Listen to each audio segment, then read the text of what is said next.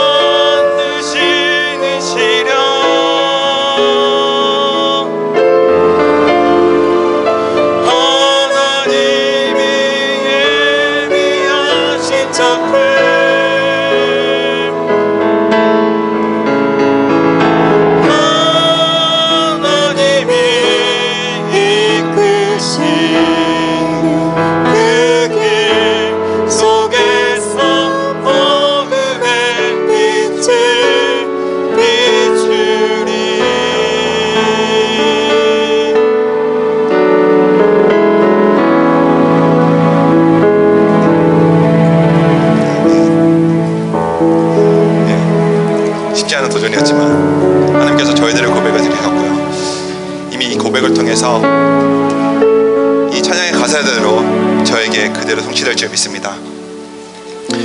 이 시간 주의 말씀은 함께 찬양 드리고 싶은데요. 하나님께서 저희들을 말씀으로 창조하셨고 또 말씀으로 저희들을 구원하셨습니다. 저희가 말씀 앞에 설 때에 하나님을 대면하는 것이고 말씀으로만 저희들이 살고 또 이 세상이 살아나는 줄 믿습니다. 이 말씀에 사로잡힌 자 되는 저희가 되기를 간절히 소원하며 이 찬양으로 저희들의 신행을 고백드렸으면 좋겠습니다.